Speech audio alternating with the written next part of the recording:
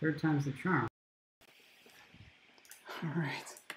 So something happened to the stream. Um, this time it wasn't because of me, because I had started it and I did not stop it. So um, I'm just going to run through the whole thing again. That way they have all the content in the same place and uh, hopefully answer any of your questions um, from the things that I just went over. But thanks for being here. I really appreciate it. I'm going to pop out this chat. All right. Sweet. Um, so this week, by uh, community request, uh, we're talking about UART runtime control on Zephyr. And this is great for things that you are, for situations where maybe you set everything statically in an overlay or in your device tree and then you know it's it's not going to be the same thing throughout the whole operation of your application so gives you the ability to change your peripherals change your configurations at runtime on the fly so that's why we're here and of course I'm going to ask again but hit that like button and hit that subscribe button and leave a comment because I really appreciate you being here um, and providing these uh, you know these questions because that's what helps kind of guide the content here on the channel.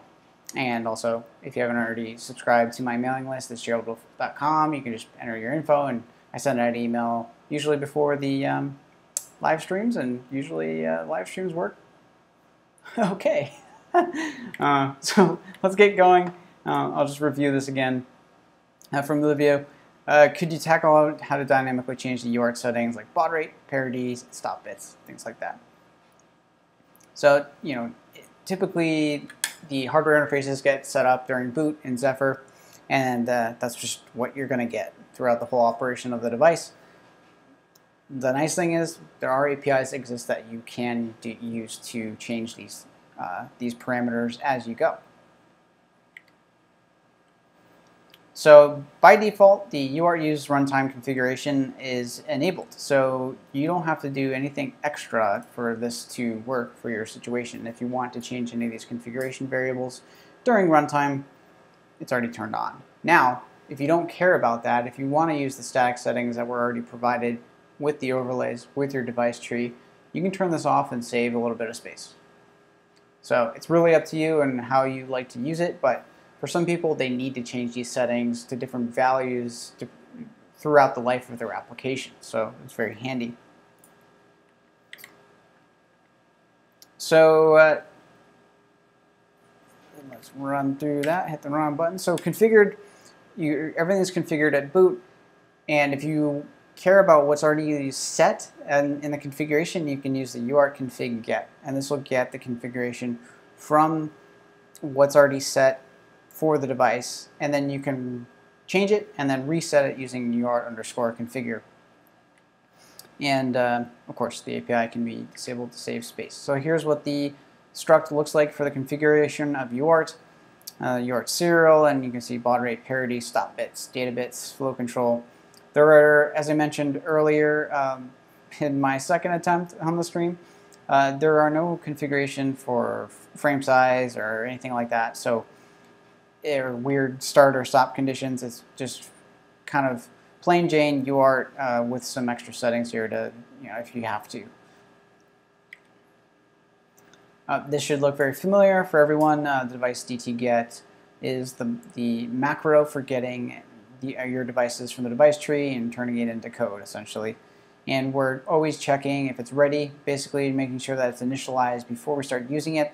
That way, if you have any issues, uh, you uh, you'll know, and you, you won't be using the peripheral um, if there's any errors. So very handy. And um, as I mentioned in previous videos, the UART dev, uh, uh, the null check. So if uh, UART underscore dev is null, then um, that will get checked within that device underscore is ready. I think that was one of the main changes in some of the APIs recently. So here's the configuration struct that we had mentioned before and I'm just setting it here and then I'm just getting the value from the UART driver and I'm putting it into that UART struct. That way I have what was already set up and then I can essentially reconfigure, I can change things as I need it, as I need to If you don't care, if maybe you have a default, a couple default configurations, you just want to swap in between them, then you you don't have to use this function at all. It's not necessary, but if you would like to read before write, this is a great way to do it. Um, here's the setting of the uh, baud rate, and we're setting it to 9600 and then reconfiguring using underscore configure and this uh, UR underscore configure UR underscore configure and uh, that will set the configuration back to the device and reconfigure it however you want it. In this case, we're just changing the baud rate. So under the hood, you know, under I'll zoom out here for a second before we jump to the Power APIs. So that's the basics of configuring devices at runtime. You can do it with uh, the other peripherals. I'll kind of touch on that at the end, but the idea here is that you can change these things in runtime because when I first started working with Zephyr, I'm like, okay, cool, I can set this in an overlay. It's basically statically set for the life of the application. Like, how do I modify or change these things? So, with that said, we'll um, we'll also talk about and touch on the the uh, the runtime control for the power management side because the power management side essentially does some things where it modifies the driver or disables the, uh, the hardware side of things, so the actual peripheral and also the pins. So we can use it to enable disable uh, to save you know to save power or enable it to actually use it depending on your situation.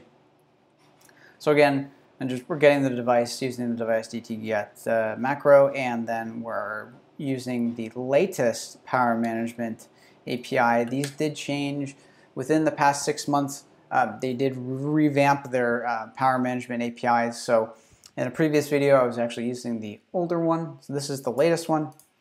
And if um, go back into the slideshow here, you can see uh, it's called PM device action run, and the um, the mode that we want to use is action suspend. And this is all dependent, and this is something that I brought up many times previously, and I brought it up in the my second attempt at this live stream. But your uh, all these functions, these APIs, are all dependent on the HAL layer implementation. So if you don't have a very strong HAL layer implementation, you might not be able to use these APIs. You might be able to call them, but they actually don't do anything.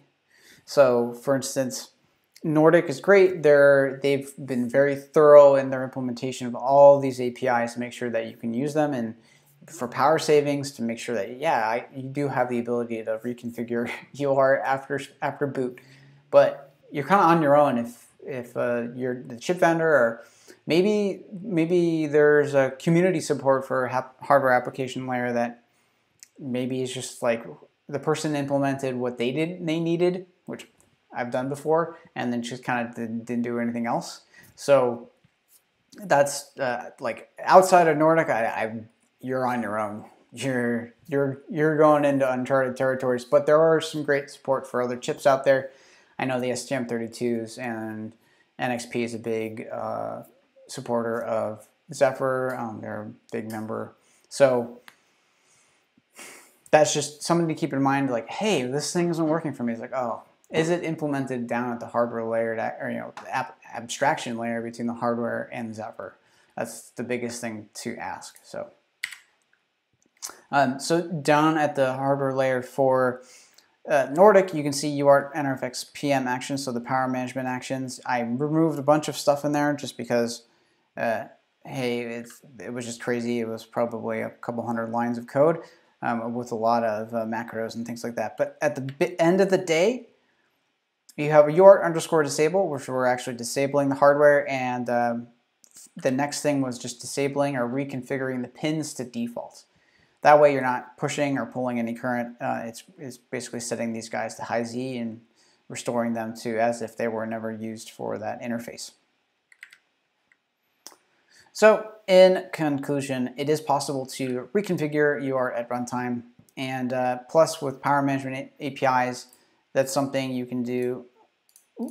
That's something you can do um, also so that you can disable things and it will actually manipulate the hardware at runtime to you know turn things off and save power or you know turn it off because you're not using it or turn it off because maybe you're utilizing those pins for something else like imagine hey I can turn off the UART and maybe use those pins to read or write the state of what the what's going on on the other end. I know I've done that for hardware testing. Um, turn off a UART device and then read those pin states and then turn it back on to do some toggling and then turn it off again or whatever. So that's also um, important and useful if you are doing anything, um, any hardware trickery there. And like I mentioned, um, there are similar APIs that can be used for other interfaces too. Um, so think Astra SPI, things like that. So all that stuff exists. Uh, again, it just depends on your hardware application layer implementation and the support you get from the manufacturer of the chips and so on and forth, so forth. So it's all there. It's just a matter of will it work? In this case, I can say the stuff with Nordic does work. So. And uh, that's it for today. Uh, again, I really apologize for those who probably tried to join me earlier.